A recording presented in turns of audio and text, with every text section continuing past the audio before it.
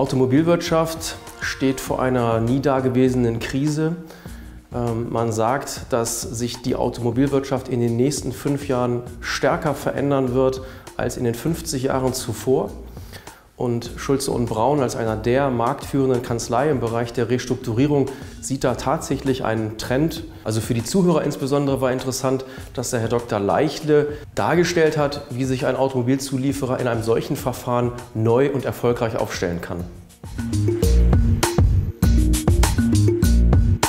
Wichtig ist, und das ist, das ist die Besonderheit, meine ich, im Automotive, wenn Verlust erzielt wird, nach der Eröffnung, dann sind die OEMs und auch die großen Tier 1, wenn man ein Tier 2 hat, bereit, diese Verluste zu decken.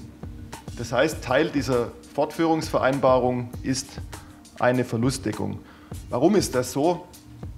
Weil der Insolvenzverwalter ja ein Geschäft nicht fortführen darf, wenn er Verlust macht, sondern er ist ja gehalten, die Masse zu mehren und nicht sie zu verkleinern.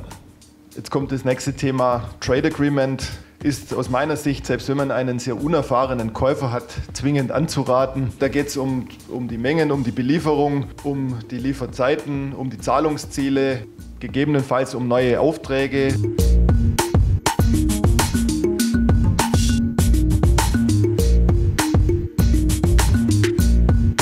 Also das Format Autorecon wird Schulz und Braun fortsetzen, äh, im Folgejahr, aber auch möglicherweise bundesweit.